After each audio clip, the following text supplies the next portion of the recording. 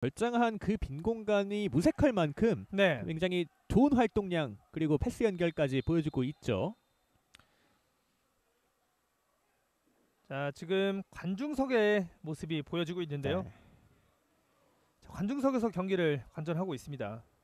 평택 시티즌 유소년 선수 유니폼을 입고 네. 또 관전을 하고 있는 어린 선수들도 보였는데요. 네네. 아, 어 지금 카드가 나왔죠? 자, 이야기를 이어가고 있는데요.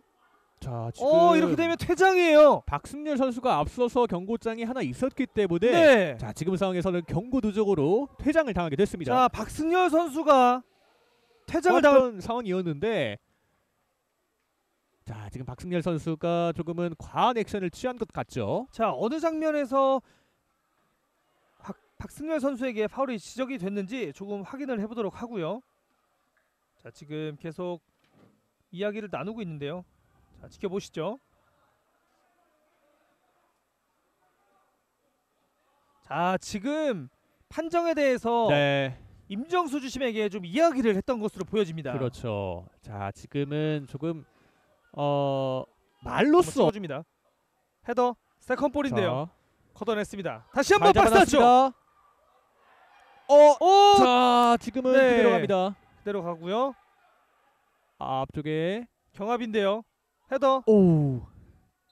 자 충돌 있었습니다.